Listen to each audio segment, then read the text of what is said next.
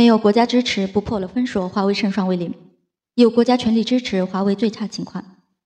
短期重挫，长期大概率胜出。先破封锁，同时坚定不移是科半导体芯片行业。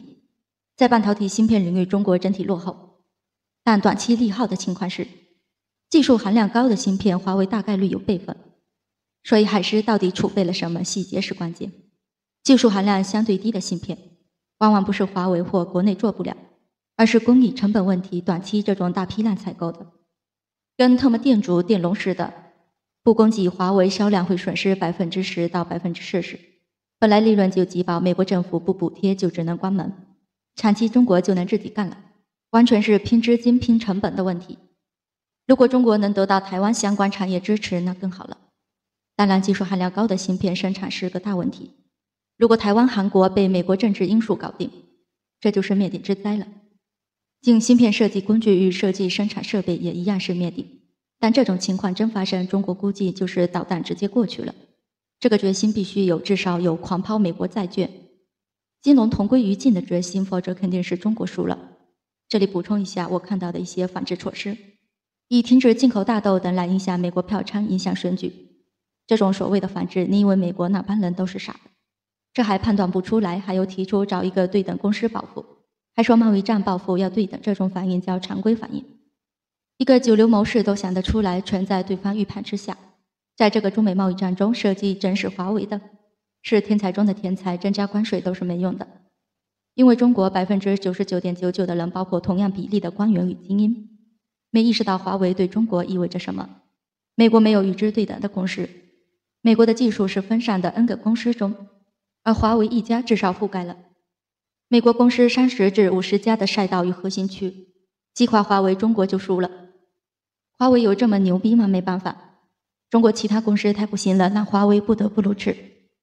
美国真是设计了一场外科手术式的精准打击，中国人脑子不清醒，清醒。往后这次打击就跟海湾战争一样，够美国吹一辈子了。面对这样的精准打击，中国以进大豆之类的手段反制有用吗？你们设想一下，如果朝鲜拥有中国的实力？美国敢这么干他吗？百分百不敢，因为金正恩在外表现的就是个疯子，他的行为具有极大的不可预测性，所以战略上，除非实力完全碾压，是无法这种温水煮青蛙战略战术的。你瞪他一眼，他能提着手榴弹跟你同归于尽。你敢用常规计谋对他吗？学习一下这个战术不能长远，但关键时刻用几次是足够自保的。这就是弱者的威慑，就简单到横的怕愣的，愣的怕不要命的。美国的判断就是，你中国人不可能不要命，你们一定会自以为是的在自我预设的战场中，以不出意外的方式与我斗。在精确斩首华为的打击下，凡事还有想着对等反制的。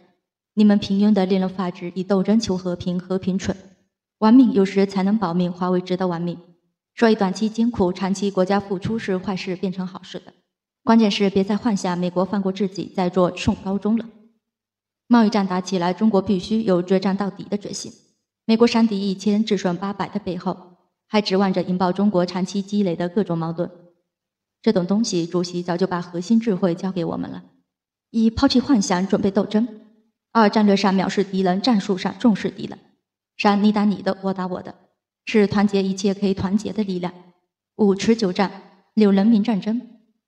怕就怕觉得这是华为一家的事，牺牲华为以求偏安。或者抱有幻想，不敢触碰金融战。华为近期陆续发布，至今为止算力最强的人工智能芯片，推出全球最快的人工智能平台。华为的下一个目标瞄准了人工智能领域，一任正非愿出手五 G 核心技术发展人工智能。最近几年，全球科技巨头纷纷布局人工智能领域，毋庸置疑，人工智能时代已经到来。毫无疑问，人工智能技术又将会是一场全新的技术变革。华为创始人任正非接受最新外媒采访，甚至表示，相比人工智能产业而言，五 G 只是小儿科，并表示愿意出手五 G 的核心技术。人工智能技术正在引领下一次工业革命，而每一次工业变革都在颠覆性的改变人类文明进程的发展，城市生活乃至国际关系得以重塑。谁能抢占先机，顺势而为，谁才能有机会成为行业的标杆，引领一个时代。二，人工智能产业成为下一个风口，产业爆发在即。人工智能现在已经成为整个科技界的风口，毕竟人的脑力算法有限，很多东西都取决于它是否能够再次进行突破，比如大数据、物联网、云技术等技术，都必然会推动下一步人工智能的发展方向。在去年二零一八年，全球的智能制造以及工厂相关的市场规模已经有了近三千亿美元，而随着人工智能技术的飞速发展，下一个万亿美元级别的市场呼之欲出，整个人工智能产业正处于行业到爆发的初始阶段，想象空间非常巨大。而想要分享这一爆发在即产业的红利，最直接的途径就是投资人工智能行业的股票，而且近期人工智能行业的股票也出现一些异动。长期看来，将是市场反复炒作的热点所在。三、五 G 技术是人工智能发展的基石。五 G 因为有低延时、高速度的特征，正在让以往很多的不可能逐渐成为现实。五 G 不仅意味着无处不在的超级网速，还将为人工智能、无人驾驶、智能家居、虚拟现实等新技术深度融入生活打开大门。家庭宽带会逐渐减少，虚拟现实技术得到普及。